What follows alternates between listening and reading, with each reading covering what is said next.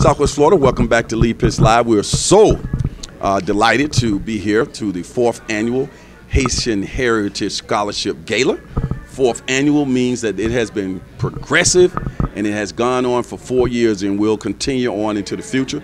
Lee Pitts Live is so happy to be the media sponsor again. We've been here from its inception, and I knew then that that was a raindrop, the first one, and it would eventually become an ocean. And certainly we are at the ocean level tonight here at the Broadway Palm Dinner Theater. I'm so thrilled to have two leaders in our community who have made us proud and continue to make us proud.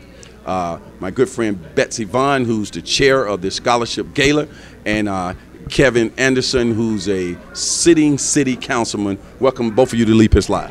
Thank, Thank you. you. Uh, uh, so, that, Kevin, I was think that you've been to one of these before. Is this your first one? No, no, I've been to uh, one in the past. I think last year, as a matter of fact.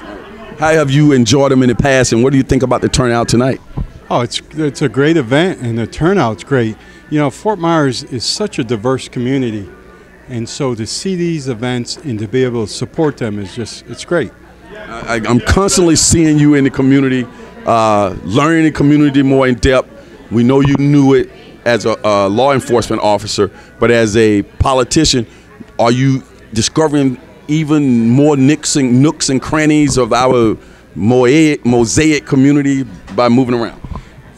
You know, Lee, one of the most important things I've learned in the last 11 months is how much I don't know. Mm-hmm. And so by getting out there in the community and being involved is, is really helping.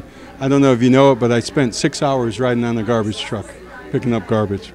I've spent time at the fire stations running calls and with the police. And uh, hopefully within the next couple weeks, I'm going to spend time with Public Works. So I really get out there and see the city, see how it's operating, and see how we're taking care of our people. Oh my goodness, that's called grassroots approach. Before I leave you for a second, uh, why is it important that we have?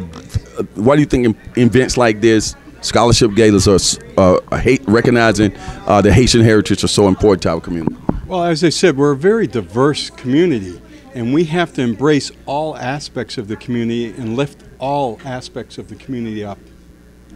Outstanding. Now, uh, Betsy, you chaired this. If I'm not mistaken, you chaired it all four years, haven't you? This fourth year? Well, actually, I'm the scholarship Chair. That's what I mean. chairperson, and um, our president, Beatrice Jaquette, has done a stellar job in getting this organized. But I did put in a lot of time this morning, and and uh, you know, moving moving along in the past several weeks, I've um, yeah, I've done my share. Okay, you're say. a school board representative. Yes. And you're the scholarship chair for this event. Yes. Those two go together like uh, peanut butter and jelly, wouldn't it? I, I would say so, or peanut butter and chocolate. Uh, salt and pepper. Yeah, All right, all right. Well, they go together well. yeah, they do. I got a chance to talk to a scholarship recipient already. Yes. Uh, which is the, the thrust of why we are here. And he was so delighted to be able to get a scholarship. He's at Florida Gulf Coast University. Mm-hmm. And uh, he said he's going to get $1,000. It's going to help him a lot in what he is doing. How does it feel when you hear these stories and, and get a chance to look at the uh, applications of these uh, students who will be getting these, uh, these scholarships?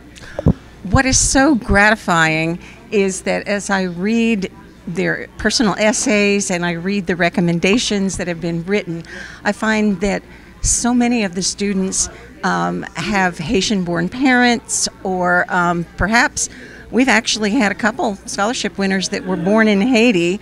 Um, one from last year came to the United States when he was in middle school, not knowing a word of English, and graduated at the top of his class. So it is just so gratifying to see how hard these students work and and how well they succeed. It looks like we have a sold out event tonight. We have a lot of people here tonight. Can't wait to get on the inside. I see people going to be uh, coming to try to meet you at the cashier thing there.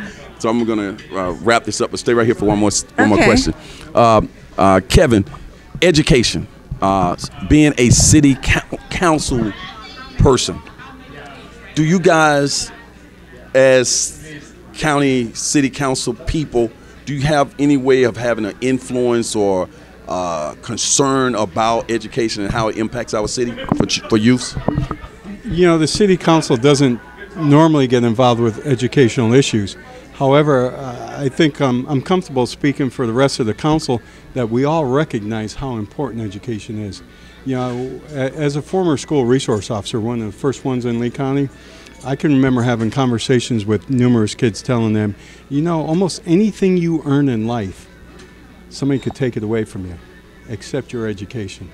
That's that's so important that you learn everything you can, and once you do, it's yours, and they, they can't pull it back. Couldn't have said it better myself. Well, it's been a pleasure to have both of you stop by. Thank you, Lee. Keep up the good work. I'm going to work on it and have another great gala next year. And Kevin, uh, on air, want to thank you for casting your vote for the Quality Life Center to uh, get that funding, even though they didn't get it. Well, Lee, you, you know where my heart is. It's in the community, and and as a former law enforcement officer, I know the impact that these programs have on our community. All right. We'll be right back.